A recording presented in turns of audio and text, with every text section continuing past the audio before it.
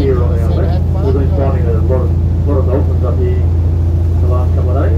They're getting right in close on these rock ledges. They're feeding in there. So it can be quite difficult to see. So I'm going to scan along here and see if we can